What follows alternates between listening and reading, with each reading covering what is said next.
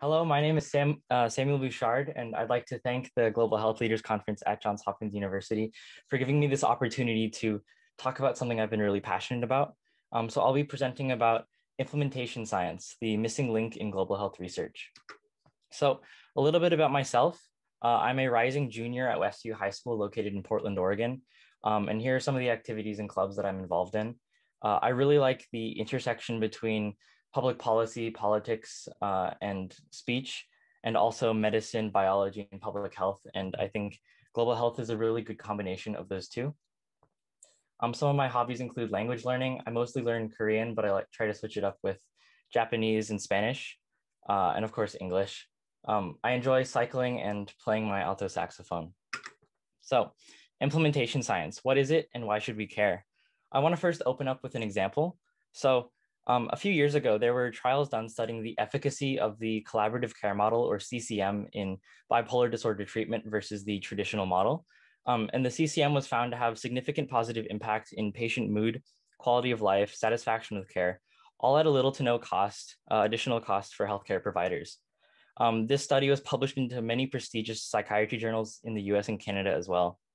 But on a follow up to these sites about a year after the studies were published, it was found that the clinicians who had participated in the CCM had reverted back to the traditional model. And the individuals with bipolar disorder went back to receiving their usual form of care. None of the sites involved had incorporated the CCM into their workflow. And so the question being asked is what went wrong? And I hope I can demonstrate how implementation science can be used to overcome obstacles such as these. Um, so implementation science. Implementation research is the scientific study of methods to promote the systematic uptake of research findings and other evidence-based practices into routine practice, and hence to improve the quality and effectiveness of health services. It includes the study of influences on healthcare professional and organizational behavior. The goal of implementation science is not to establish the health impact of a clinical innovation, but rather to identify the factors that affect its uptake into routine use. And so I think this is better demonstrated with an example.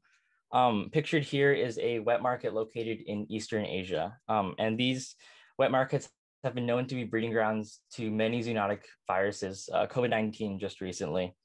And so um, if you look on the left, you can see uh, an live animals being stored next to slaughtered meat.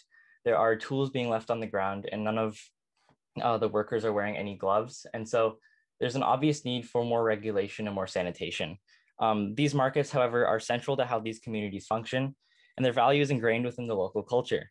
So implementation science tries to find out how to solve issues such as sanitation regulation without stifling the open and free culture that without stifling the open and free culture that developed in many of these uh, markets.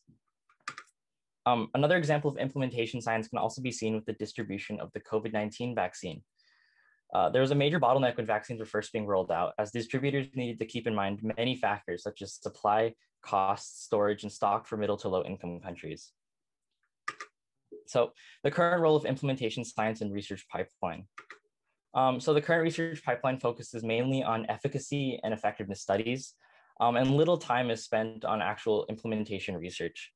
And so some stats, one third of 266 US based public health researchers rated implementation efforts as poor. 73% spent less than 10% of their time on implementation. Half had a designated person for implementation, and only one third involved stakeholders in the research process. And so you can see here that there's a lot of disparities in the current role of implementation science in the current research pipeline.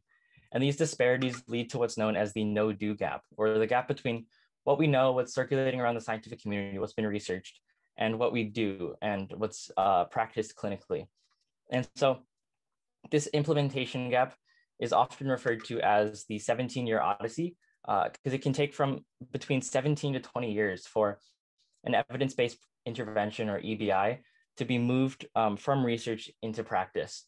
And um, only a small fraction of these EBIs even make it uh, into practice, a very small percent. And so, uh, main takeaway is that it takes around 17 years to turn 14% of original research to the benefit of patient care. So you can see that there is a, a lot of loss of investment um, as well um, in these. And so I guess to summarize my main points, discovery of interventions of new practices does not directly lead to the use of knowledge and integration um, into clinical settings. Uh, evidence does not lead to uptake. There's a huge gap between what we know is being researched and what's actually being practiced. Um, implementation science also provides a lot of accountability of research investment and actually shows the impact. And so billions and billions of dollars are sunk into research grants every year.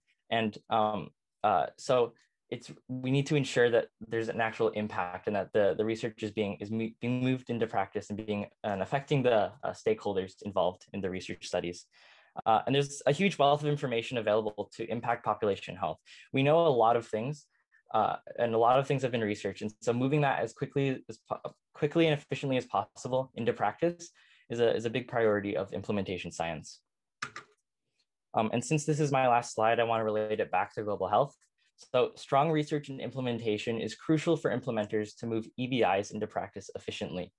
This transition into practice is the cornerstone of development in the global health sector and subsequently will advance the goal of health equity for all. I'd like to thank my teachers at school. I would not be here without their support. Um, and lastly, I'd like to introduce an organization I'm running with some amazing other students from around the world called the One Health Hackathon. Uh, we are a global health competition where you can hear from world-renowned experts in global health and work together to tackle real outbreaks in teams of two to four. And solutions can be business pitches, tech prototypes, policy proposals, and more. And participation is completely free of charge. Um, at OHH 2020, we had three, 300 signups from 22 different countries. And this is a map showing uh, the current signups for OHH 2021. Uh, we just opened registration and we already have people from 24 different countries. And so this is a really good opportunity to meet uh, a lot of other people from around the world that are interested in global health. Um, and so if you have any questions, here's my contact information. Thank you so much for your time.